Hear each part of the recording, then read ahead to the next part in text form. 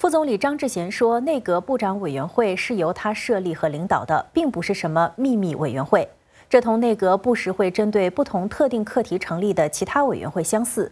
李显龙总理没有参与任何政府同李光耀先生故居有关的决定。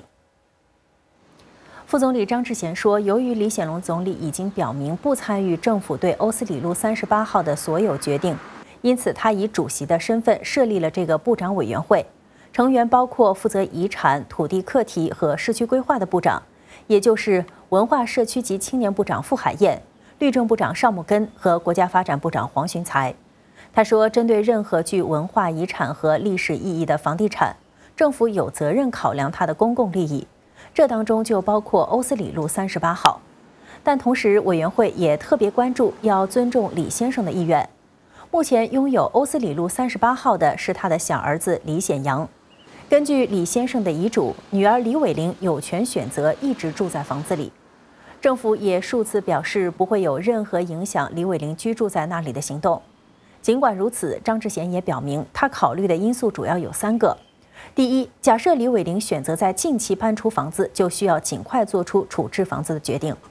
第二，在李先生逝世后不久，他遗嘱的执行者，也就是李显阳和李伟玲，就曾要求政府马上承诺会拆除房子。第三，内阁中多名成员，包括他本人在内，都认为应该由一些曾经同李先生亲自讨论过这件事的部长，为当届政府提供一些选项。张志贤说，为了更清楚了解李先生对房子的想法，部长委员会写信给他所有子女，征求他们的看法，并针对这些看法要求他们做出一些澄清。委员会已经委任相关部门去探讨一系列有关处置房子的选项。张志贤也同李先生子女们分享了其中一些选项，例如他告诉他们自己不支持两个极端的选项，一个是保留故居并且开放给游客参观，因为这将完全违背李光耀先生和夫人的意愿；另一个是拆除房子并在市场上售地供建造新私宅。